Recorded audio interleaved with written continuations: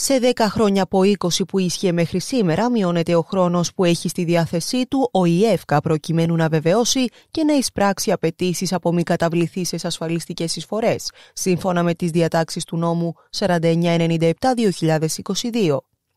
Εάν η απέτηση του ΙΕΦΚΑ δεν βεβαιωθεί και η οφείλη δεν κοινοποιηθεί στον ασφαλισμένο μέσα σε αυτό το διάστημα, οι οφειλές παραγράφονται.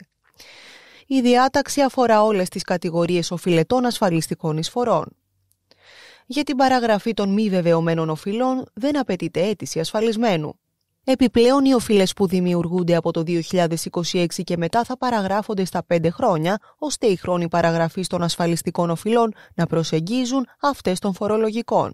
Τονίζεται πως το ενδεχόμενο παραγραφής πάβει να ισχύει όταν ο ΙΕΦΚΑ και το ΚΕΑΟ εντός της δεκαετίας ειδοποιήσει με οποιονδήποτε τρόπο τον ασφαλισμένο για την οφειλή, με δικαστικό επιμελητή, κλητήρα ή επιστολή, ηλεκτρονική ειδοποίηση εφόσον υπάρξει μέτρο διοικητικής εκτέλεσης για την εισπραξή της και άλλα επισημαίνεται ότι οι εργαζόμενοι δεν χάνουν τα ασφαλιστικά δικαιώματά τους για οφείλες των εργοδοτών τους κατά το χρονικό διάστημα της περίοδου 2006-2011, που βάσει της νέας διάταξης έχουν παραγραφεί. Τέλος, σε περίπτωση που ο ασφαλισμένος θέλει να υποβάλει ένσταση σχετικά με την παραγεγραμμένη οφειλή, μπορεί να το πράξει απευθυνόμενο στην τοπική διεύθυνση του ΙΕΦΚΑ στην οποία ανήκει.